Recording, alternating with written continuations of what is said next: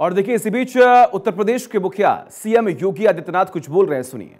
क्षेत्रीय अध्यक्ष श्री सहजानंद राय जी जिला अध्यक्ष युधिष्ठिर सिंह जी, महानगर अध्यक्ष राजेश गुप्ता जी, आज के इस कार्यक्रम में उपस्थित गोरखपुर, जनपद और महानगर से जुड़े हुए सभी उपस्थित भाइयों और बहनों एक साथ गोरखपुर की दो सौ अट्ठावन परियोजनाओं के लोकार्पण और शिलान्यास के लिए एक हज़ार छियालीस करोड़ रुपए की लागत की इन परियोजनाओं की सौगात एक बार फिर से गोरखपुर वासियों को उपलब्ध करने के अवसर पर मैं आप सबका और पूरे गोरखपुर वासियों को हृदय से बधाई देता हूँ।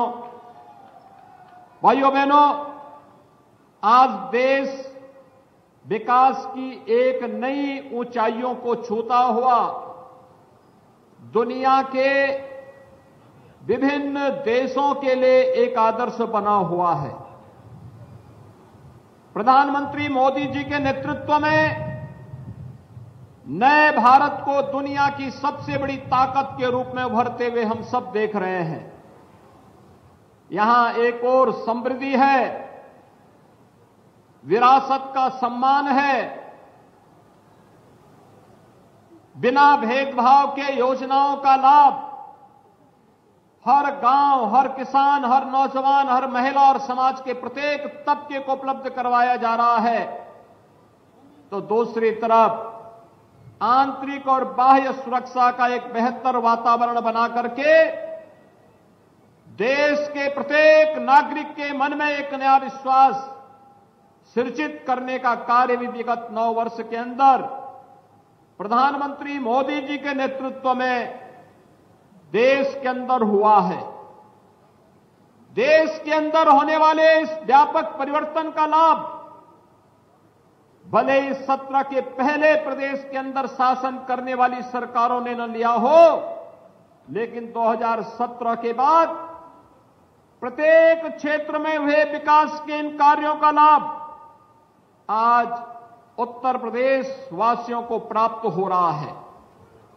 भाइयों बहनों, आज उत्तर प्रदेश विगत छह वर्ष के अंदर अपनी एक नई आभा के साथ, अपने एक नए कलेवर के साथ दुनिया के सामने है। 2017 के पहले अपनी बदतर कानून व्यवस्था हर दूसरे तीसरे दिन होने वाले दंगे शासन की, विकास की परियोजनाओं में होने वाला भ्रष्टाचार, न गाँव सुरक्षित, न बेटी सुरक्षित, हर ओर अराजकता का जो तांडव था, आज आपने पिछले छह वर्ष के अंदर देखा होगा। आज उत्तर प्रदेश में छह वर्ष में कोई दंगा नहीं हुआ। उत्तर प्रदेश के अंदर कोई माफिया सिर तान करके नहीं चल सकता है। और कोई गुंडा और कोई उचक्का किसी बेटी की सुरक्षा के साथ खिलवाड़ नहीं कर सकता है।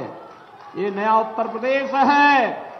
जहाँ दंगे नहीं होते, दंगाइयों का इलाज सरकार कानून सम्मत कार्रवाई करके करती है। जहाँ व्यापारियों की संपत्ति पर कोई कब्जा करने का दुस्साहस नहीं कर सकता, किसी गरीब की ज़मीन पर कोई कब्जा करने का दुस्साहस नहीं कर सकता, अगर किसी अपराधी और किसी माफिया ने ज़रूरत की तो उसका इलाज भी सरकार के पास है, उसका उपचार, ऐसा उपचार करती है कि आने वाली कई पीढ़ियाँ अपराध करने से डरेंगी। भाइयों बहनों, उत्तर प्रदेश एक तरफ़ बेहतर कानून व्यवस्था के माहौल के लिए आज देश के अंदर जाना जा रहा है। वहीं देश के अंदर सबसे अधिक इंफ्रास्ट्रक्चर से जुड़ी हुई योजनाओं का लाभ आज उत्तर प्रदेश वासियों को प्राप्त हो रहा है। आपने देखा होगा, आज के समाचार पत्रों को आपने पढ़ा होगा। कल हम लोगों ने पूर्वांचल एक्सप्रेस वे के गोरखपुर लिंक पर एक बड़े उद्योग का शिलान्यास किया।